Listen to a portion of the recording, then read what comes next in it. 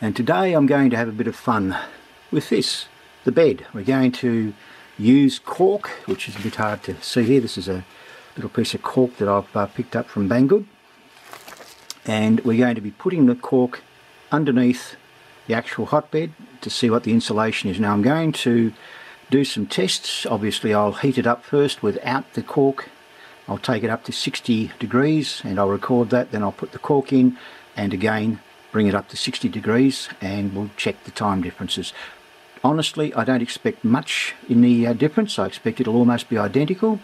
The difference, of course, will be later on. It'll keep the bed hotter to actually have the cork uh, installed so that should reduce the amount of power drain uh, that I'm actually using. But we will find out shortly.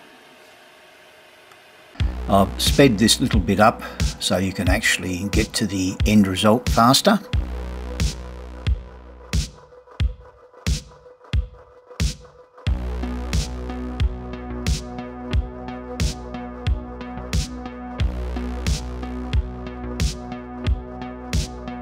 I've fitted the cork already and the next thing of course will be to heat up the bed and see if there's any difference in time.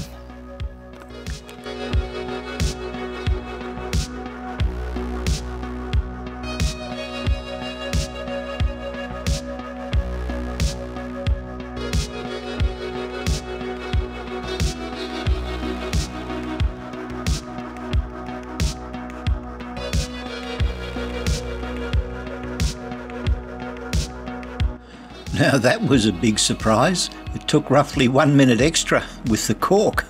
Wow. anyway, hopefully you've enjoyed watching my video. Please consider giving me a thumbs up or a thumbs down.